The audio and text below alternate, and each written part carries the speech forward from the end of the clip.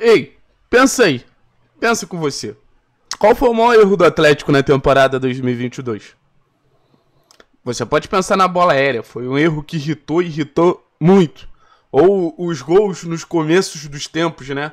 Cara, assim, 15 minutos do. Até os 15 minutos do primeiro tempo era um perigo absurdo. E até os 15 minutos do segundo tempo também era um perigo, perigo muito grande. O Atlético ele demorava muito a entrar nos jogos. Mas eu acho que nada, absolutamente nada, chegou perto da pré-temporada que o Atlético fez. Pensa comigo. Cara, raciocina como foi absurda a pré-temporada que o Atlético fez. O Atlético, ano passado, optou jogar com o, Campeonato Paranaense com os aspirantes, deixar o elenco principal sendo trabalhado por uma comissão de Alberto Valentim, Bruno Lazzaroni, e, enfim, Bernardo, sei lá quem estava naquela comissão, Lúcio Gonzalez estava naquela comissão. Eu ainda tinha uma esperança naquela comissão em um primeiro momento. Mas você dá para uma comissão que era no mínimo questionada um elenco incompleto, um elenco que estava longe de ser o elenco que terminou a temporada. Não tinha Canóbio, não tinha Coelho, não tinha Vitor Roque, não tinha Fernandinho, não tinha Alex Santana. E eu não tô falando que isso era o motivo desse, dessa comissão técnica ser limitada. Essa comissão técnica era limitada e não tinha a maioria do elenco. O treinador foi demitido ou pediu para sair, enfim, na primeira rodada do Campeonato Brasileiro. Então tudo que foi feito foi por água abaixo. A gente não conseguiu marcar os amistosos, então o nível de competitividade que o Atlético encarou no começo de temporada foi basicamente nenhum.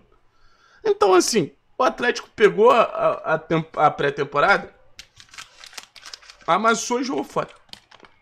Isso gerou consequência. Isso gerou consequência. O Atlético teve que mudar de treinador na primeira rodada, após a primeira rodada do Campeonato Brasileiro, depois teve que mudar de novo. Foi um começo de temporada extremamente complicado. Um começo de temporada onde, assim, se na reta final a gente já ficou nervoso com o Atlético, no início de temporada parecia que o Atlético estava completamente perdido. Um início de temporada que não tinha identidade, a gente sentia muita falta das nossas referências que saíram na, na mudança de temporada, né, de 2021 para 2022. Então foi uma verdadeira tragédia o início do de ano do Atlético. E eu fico muito, muito, muito, muito, muito feliz de ver que o Atlético ele tá buscando não repetir esse erro. O Atlético ele tá buscando começar a temporada dando sequência a um trabalho. E é um trabalho que foi muito mais positivo do que o trabalho do Alberto, porque o trabalho do Alberto, ah, beleza, foi campeão. Ele treinou a final ali, mas foi campeão, chegou na final da Copa do Brasil com muitos méritos ali contra o Flamengo. Mas era um trabalho que a gente desconfiava bastante, né? Quem não tinha certeza que era um trabalho fraco, desconfiava bastante. Eu, eu queria dar o benefício da dúvida, confesso. Mas ali na Recopa já estava muito claro que o trabalho do Alberto não ia para frente. É, era um cara com, com as opções ali muito limitadas, né? Um repertório muito limitado e um elenco muito limitado. Então, assim, você começar o ano dando sequência é um trabalho. Ah, Thiago, mas não era o Paulo Turro, o técnico do ano passado, era o Filipão. Mas, velho, era o Filipão. É, só que quem administrava treinar era o Paulo Turra. O Paulo Turra, ele acompanhou todo o processo.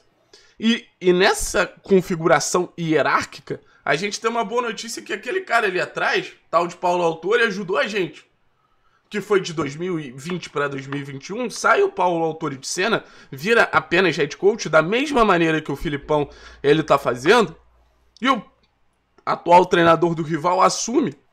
Ele tem meses muito positivos. Ele perde ali o grupo por uma falta de capacidade de gestão, o que eu acho que até por ser mais experiente, o Paulo Turre ele tem mais. E, e, você também trabalhar ali com o Filipão como head coach é interessante, então você vai ter uma sequência de um trabalho. Ah, Thiago, mas eu não gosto dessa ideia de jogo. Eu acho essa ideia de jogo é o, é o que faz o Atlético ter muito dos seus problemas. Tu não gostou do jogo contra o Botafogo? Era a mesma ideia de jogo. 24 finalizações, um time que massacrou, sufocou, deixou o time adversário ali nas cordas. Tu não gostou dos confrontos contra o Palmeiras na, na Libertadores? Era a mesma ideia de jogo. Tu não gostou dos confrontos, sei lá, contra estudiantes e, e vários outros jogos na temporada? O problema não é a ideia de jogo. É como ela é executada. E eu acho que essa pré-temporada e essa manutenção de trabalho e essa evolução da equipe, ela parte muito da capacidade desse treinador, desse Paulo Turra, chegar a grupo, fazendo isso, isso, isso, você executa melhor a maneira de jogar. Você executa melhor esse modelo de jogo. E esse modelo de jogo também pode fazer o Atlético jogar bem. Também pode fazer o Atlético ser agradável. Também pode fazer o Atlético, principalmente, brigar por títulos. Então, assim, sem conclusões antes da bola rolar.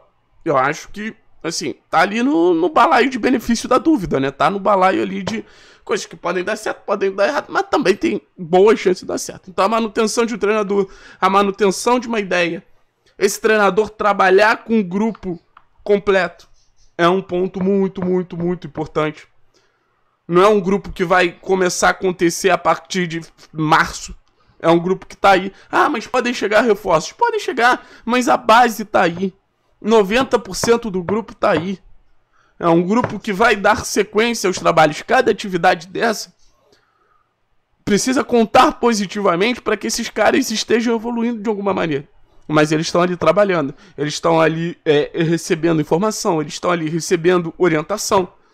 Isso é muito importante, isso é fundamental. Você tem uma base mantida, né? Então são jogadores que se conhecem mais, são jogadores adaptados ao grupo. Você não vai receber 15, 16 jogadores que vão ter que se adaptar ao grupo. Cada um vai ter uma maneira de reagir ali. Alguns jogadores mais tímidos vão demorar a se adaptar, outros não. Você tem ali jogadores que já se conhecem. Ou então o entrosamento fora e dentro de campo vai ser muito melhor. Porque assim, é, eu lembro de um tweet do Fusqueta no começo da temporada passada que ele fala é, que não existia panelinha porque o Atlético era um grupo novo. A, a, maioria ali não se conhecia. Agora se conhece. Eu não tô falando que é um grupo propício a fazer panelinha, muito pelo contrário. Eu tô falando que é um grupo propício a render mais. E, cara, querendo ou não, apesar de eu gostar de, de ver o time de aspirantes no Campeonato Paranaense, vai ser um elenco que vai ter calendário, né? Vai ser um elenco que vai ser testado, vai ser um elenco que vai ser validado, vai ser um elenco que vai ter ali algum, algum compromisso. Porque em 2022 a gente não teve. Então, assim, é uma pré-temporada que antes de começar. Mentira, ela já começou, teve ali sua primeira parte, mas, enfim, ela já parece mais organizada, ela já parece mais é, feita para o Atlético ter sucesso ao longo da temporada. Ela não parece feita de maneira aleatória. Em 2022 parecia de maneira aleatória. Ah, mas o Paulo Turra vai cair cedo. Isso aí é outra história. Isso aí é outra história. Mas você tem ali um grupo, uma ideia, um profissional que conhece esse grupo, um profissional que domina essa ideia. Agora é encaixar as peças para que a gente veja em 2022 e 2023 o Atlético não sofrendo como sofreu em 2022. Porque o Atlético ele não sentiu pouca falta de uma pré-temporada. Ele sentiu muita, muita, muita. Mas parece que aprendeu com